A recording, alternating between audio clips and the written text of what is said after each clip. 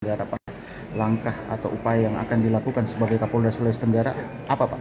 Ya, yang apa sudah barang tentu yang pertama saya ke dalam itu internal untuk memberikan motivasi kepada anggota agar lebih giat lagi bekerja karena kita ke depan akan menghadapi pilkada yang cukup berat.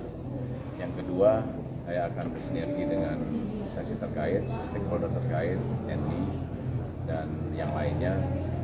supaya kita sama-sama menjaga sultannya agar lebih aman. Jadi kita hilangkan ego sektoral, kita satu untuk sultra yang lebih aman dan kondusif.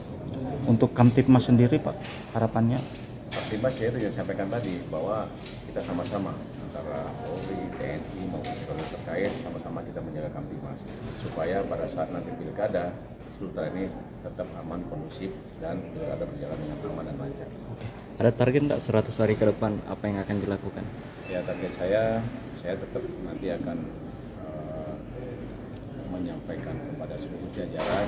ya, target saya yang pertama itu uh, masalah kasus-kasus yang belum terselesaikan, ya ada sudah diselesaikan dan ke depan tetap harus menjaga situasi Kamtimas di wilayah masing-masing agar lebih kondusif.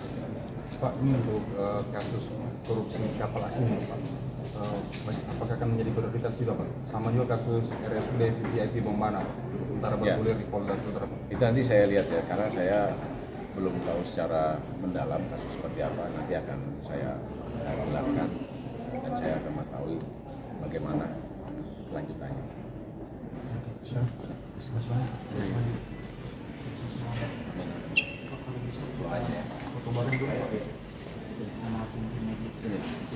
Terima kasih sudah nonton. Jangan lupa like, subscribe, dan share ya.